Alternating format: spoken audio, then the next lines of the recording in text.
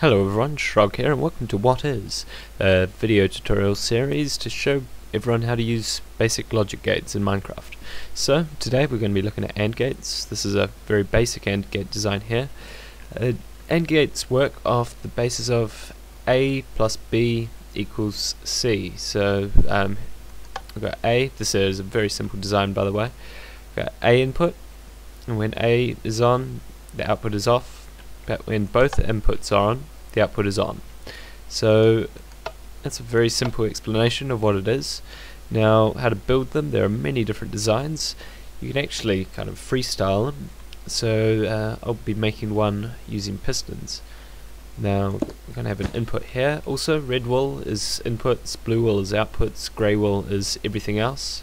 So we're going to have an input in here. I'm going to just have a repeater.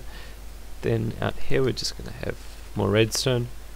And above it actually we'll make this red we will have a piston. Now actually I'll leave piston moving blocks grey. So we'll connect the piston up and here we go. This is a really basic AND gate. Now if we power on input A nothing happens but if we power on uh, both inputs I'll just power it like this actually the output will be on so that's a basic example of what it is and how it works. Now we'll come over here and this this is kind of an example of what you can do with these these AND gates. So this here is a very basic combination lock.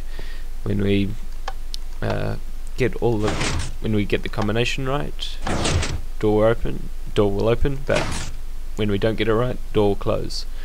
This works um, basically the same as this one with the all torches leading to a, a central output wire.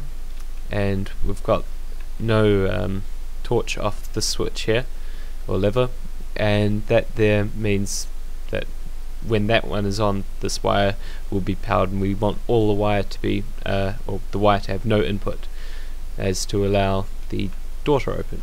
So when I flick that lever all torches will be off and doors are open uh, so that's a really basic and quick explanation of what an AND gate is. Uh, hope, uh, stick around, we're going to be, oh, well, I'm going to be doing a video on most other logic gates, so yeah, thanks for watching, goodbye.